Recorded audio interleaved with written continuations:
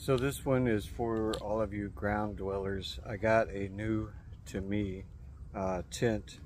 It's a uh, drop X-Mid one person tent. So this is the first version of it. They actually have two more versions. Uh, the second one, I think this is still poly and the second one is still poly, but it's got a little bit of changes. And then the, the pro version is uh, Dyneema. So I just got this tent in the mail. I bought it from Backpackers Gear and Flea Market on Facebook. Um, I'm going to set it up and uh, check it out while I'm making a video. So uh, this will be my first time ever setting it up. I watched a video on YouTube and you can learn every everything you need to know from YouTube, right?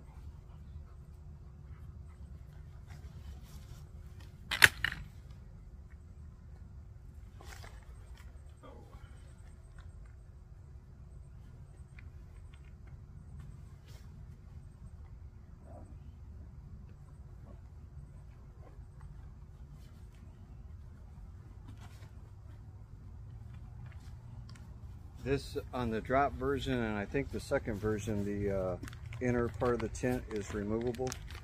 Um, the, the Pro, it's not removable.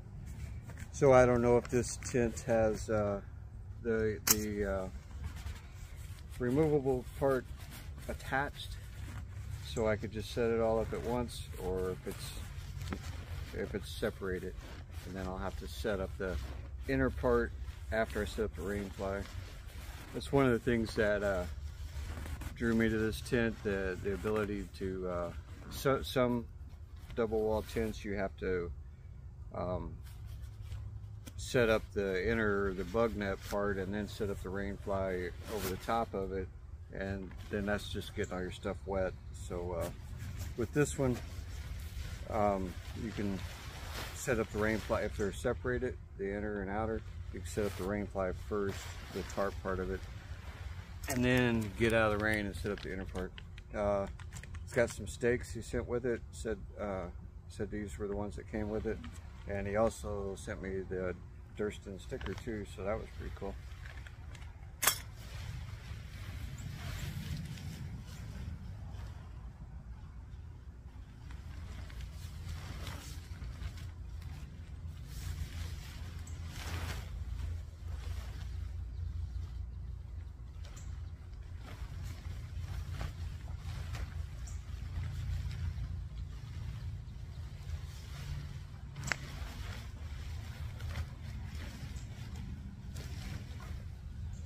So the inner part is attached, so that's good, but it's taking me a second to figure out where everything's at. But I'm getting it under control now. There's the stake, and there's the stake. This ground's pretty hard, so I don't know if I'm going to be able to get the stakes in there or not, but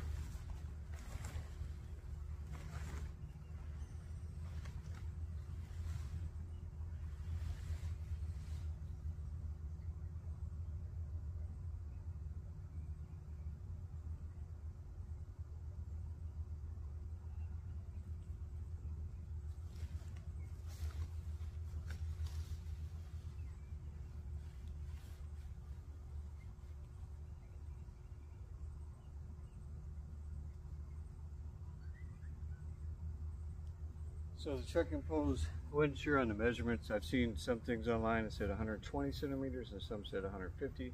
So I'm just gonna, I got it set at 120 and I can adjust them up if I need to.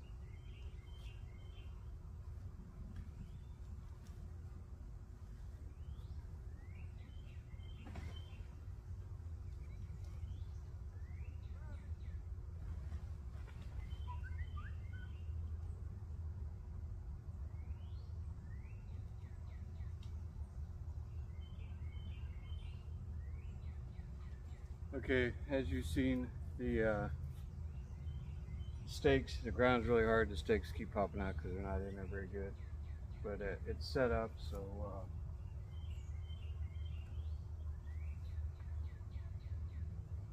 we will check it out now, get a little bit closer look at it. Okay, one thing I like about it is, uh, and this is tin is made by Dan Durston. I think you can find their website at durstongear.com. One of the things I like about it is it's got the uh, uh, waterproof zipper. A lot of tents do not do that. Um, I should stake this out, this short side, uh, stake that out. I'm not going to. I'm just trying to hurry up and film the video.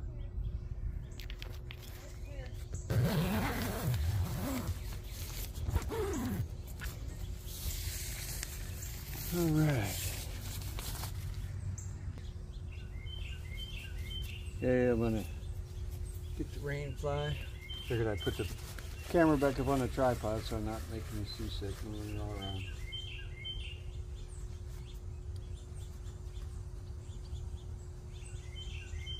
It's got little toggles. Uh, I might figure out something different to do with that. And uh, the new, the Pro has a magnet. It's got a magnet on the tent there, and it's got the little straps got a magnet on, and it attaches there pretty good.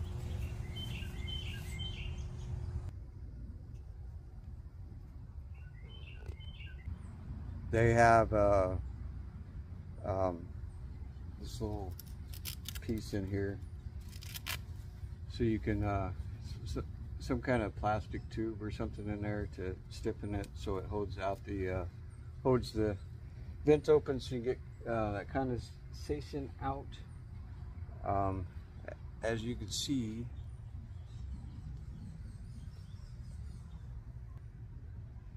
in here there's plenty of room to keep your pack, set your gear out, all that kind of stuff. Because there's definitely not any room inside the, the bug net part of it um, to have any gear other than the bare, uh, bare essentials. But um, I, don't know, for it's 27 ounces, I think, so uh, a little under two pounds. Um, I think it should be a pretty good little tent. And on this side, over there, you got the same vestibule area. So you could put stuff over there, maybe put your pack. See my my poles are crooked. I got them definitely at the wrong height. That's why that pole is crooked. Uh, so I'll have to have to play with that and see what I need the height adjusted to. So I'll remember it next time. But you can lean your pack up against there and then here in the front store your gear, your cooking or whatever. So that'd be pretty nice. Um, so even though you don't have room inside the tent itself to have the gear with you, you got the room in the shelter uh, to keep it out of the weather and everything. So pretty nice. There's a pocket up here. Uh, there. That runs down. There's a divider right there and then another section there. Be nice to put headlamp, phone, something like that up out of the way so you find it if you need it. That's good. Um, this tent, I bought it used, like I said It's got just a little bit of dirt on the bottom. And I, after I film the video, I'll check it all out in really good detail, but it looks pretty good. Pretty happy with it. Pretty happy with it. And then I...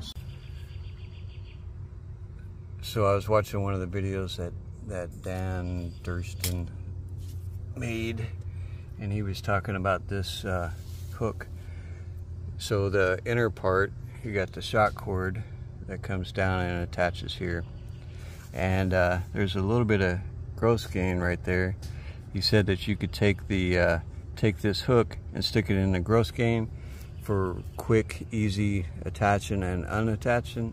Um, but if you're going to pack it with the inner in it, um, so it's all like one piece, he said it's a lot better to hook that hook to the uh, to this plastic hook here because um, then it'll stay attached as you're folding it and stuffing it in your stuff sack and, and then unfolding it and everything. Said if you put it in the grosgrain, a lot of times it could pop out while you're packing and unpacking and everything, then your tent is not attached anymore. Um, up here is, I don't know if you can see it, but there's a metal grommet up here and it's got the reinforced patch. This is a little clip. You can unclip the net and you can also adjust the tension on it right there. It's the same thing on that side. And uh, got reinforced corners down on each corner. You can see that. And uh, all the stitch work, I'm gonna go all over it really good just to see. I've this is the first one of Dan's, of Durston's products I've ever had. So I'm gonna go over it with a fine tooth comb just to, just to see the quality of his work. It's got these tie outs here. So if it's really windy, you can uh, um, tension them out too. You could do it with four stakes. Uh, I, I, think it's a lot better and everybody on the videos I've watched have said staking out this stake here. So you're staking out this short side, staking that out um, to keep, you know, so if you have it open like this side over here, that, uh, and have this, this side staked down, then, you know, it, it'll protect it from the weather and everything you could stake it out there uh, so it's not blowing around. Uh, I also seen in one of Durston's videos, I've seen some of the people um, taking this tie out and tying it like straight kind of in line with the with the tent but uh, he suggested to kind of do it in line with this seam here because uh, that's the biggest he, he said that's the biggest thing to catch wind. So if you pulled the tension on that line in this direction, it would be better. So makes sense. Um, this side's the same way. Got the little vent there, tie out, so you can roll up this big part of this thing so you can have both sides open, get a lot of airflow. Um, pretty nice. I got four stakes in here now. You figure if you stake out the doors, uh, you know, you're looking at six, but uh, I guess you can get by with if you're just going to have one door open, just sticking that door out. So I'd say five stakes minimum, but it, you could have the four on the corners, one on each door, that's six. If you did the tie outs on each side, that's seven, eight. And then it also has a tie out here in the middle, that's nine. And uh, one on the opposite side, that would be 10. And there's one here, so that's 11. One on the other side, that's 12. So you can get by with anywhere from four stakes to a maximum of 12. I am definitely going to get the sewing machine out and make some kind of little loop there or something to attach my trekking pole to. I think that'd be a really good idea.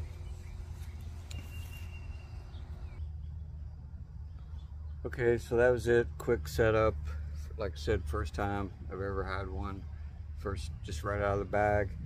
Um, I, overall, I like it. One downside for me is uh, I, I, especially in the wintertime, like to take my dog. Uh, summertime, it could be really hot and miserable for him. So taking him in the wintertime, there's really not room for him inside the bug net area. There is room in, under the vestibule, uh, vestibule but um, I like to have him inside the tent with me. So it's an issue I can work around. Uh, like when I hammock camp, he's not inside any kind of bug netting or anything there either. So it'll all work out. Have him a little ground cloth there and he'll be good to go. Um, and I think there's room, especially if I put him on the other side, um, so I can have my stuff here and be getting in and out here and all that kind of stuff. That'll work. Um, I'm curious for any of you people that hammock camp and tent camp, uh, what if you can comment for somebody else that's watching this and kind of deciding hammocks, tents, whatever. If you can leave a comment um, saying what what what's your thinking whenever you're planning a trip. If you if you switch back and forth between hammocks and tents uh, for each trip that you go on, what what you're thinking uh, on on your decision of to take a hammock or tent. I'm sure some of it's really obvious. If you're going out in the desert, hammock's not a good option, you know. But um, is there any other thing you take into consideration uh, on the uh, on whether you take a hammock or a tent? I tend to take a tent more in the winter time um, because then my dog can get in there and he's nice and comfortable. I can keep a really good eye on him and everything's good to go. Um, I tend to tent camp more in the winter time because with hammocks, by the time you get your underquilt and your quilt and your hammock and your tarp and your straps and your this and your that, and it's winter time and you're carrying a lot more clothing and all that kind of stuff, um, it can be uh, it's extra weight. Um, I think my tarp, hammock tarp, weighs right about two pounds. This has got everything in it, you know. Uh, this whole tent weighs under two pounds, so uh, with my hammock, you know, then you got to throw in the weight of the hammock and the straps and the underquilt and all that kind of stuff. So you're adding a lot of extra weight. So for me, uh, summertime, tents can be miserable staying in them because uh, um, they're hot and don't have a lot of ventilation. This is the first tent I had like this, so maybe the cross flow, if you open up both doors and have that cross flow of ventilation, uh, maybe that'll make a difference, hopefully. But um, that that's my thinking 99% of the time. Sometimes it's a location there's not a good place to hang a hammock where I'll be going or it's kind of iffy. But I could always I could always figure out something to hang a hammock and worst case scenario I can actually set up my hammock on the ground if I need to, especially if it's just for one night. But um, I tend to camp in a tent more in the winter time because uh, trying to save weight from the extra clothing and all that kind of stuff. And I don't use down, um, so synthetic, especially when you're having a synthetic quilt or sleeping bag and a synthetic underquilt, that takes up a lot of volume in your pack really, really quickly. And to do that in the winter and add all your extra clothing and all that kind of stuff, you're carrying a pretty big pack before you know it, especially if you're going to go for four or five days or more. Um, so if you can, uh, hopefully this is uh, helpful to somebody that's thinking about a new tent or whatever. Um, uh, this the second version is still poly also, but it's got some improvements done on it. And the pro version, the third version of this tent is Dyneema.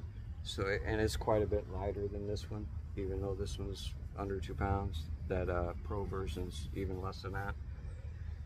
Um, anyway, if you can, leave a comment for anybody else. Um, any thoughts on the tent or, or tents versus hammocks or why you choose for that particular trip a tent or a hammock.